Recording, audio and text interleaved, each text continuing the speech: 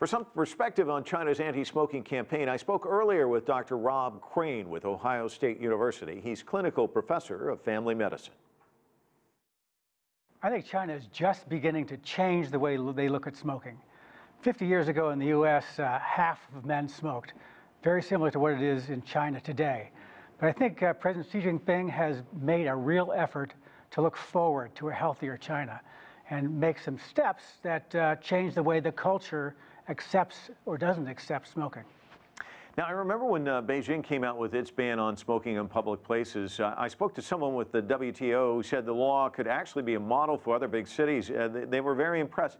And there are other cities in China that have banned smoking in public places. But I was reading recently where Hangzhou ran into some opposition when they tried to enact a strong smoking ban in public places. Can you talk to us about the pushback? Uh, people who are addicted to smoking kind of deny what it does to other people. I mean, it's one thing to smoke yourself, of course, but it's another thing entirely to expose your toxic fumes, your dead fumes, to innocent people, especially in China, women and children. But that's changing. I think people are really understanding that better. Uh, but I think getting past the industry itself and the natural resistance of people who are addicted to change their behaviors. Yeah, well, let's talk about that. Uh, tobacco is big business. Uh, it's big business here in the United States and in China. It's a $172 billion a year industry in China. Uh, that's tough to go up against, isn't it? You bet. I mean, China makes 40% of all cigarettes manufactured in the entire world.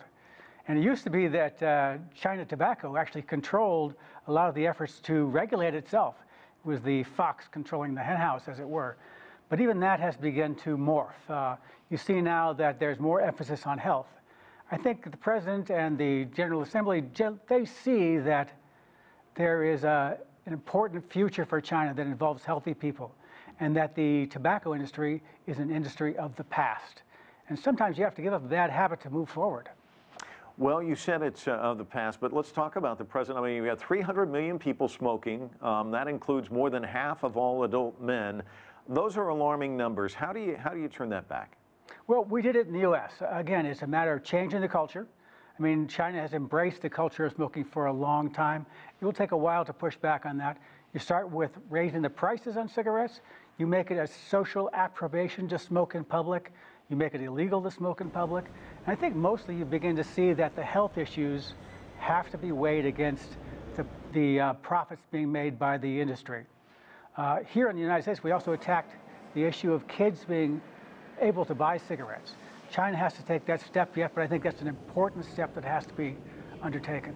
There is a rise in, in, in female smokers. Uh, I want to also get your sense about the e-cigarette market in China because that's something that's really kind of uh, burgeoning here in the United States and elsewhere. Uh, give me your thoughts on those two. Yeah, I think that's a really important question.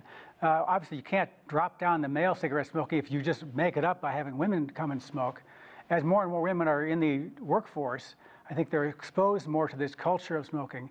And I think China, as well as the United States, has to be careful about this problem of just backfilling the reduction in males with women. Same thing with kids. E-cigarettes in the United States have become a real problem. We reduced smoking among kids from about one third of kids down to about 10% of kids. But the e-cigarettes have just taken off and are going to, because they're not as effective delivery of nicotine, make kids move towards cigarettes. So it's a problem that has to be addressed, and hopefully China will take the bull by the horns, as it were, and change things. Dr. Crane, thanks so much for your insights. Thank you very much.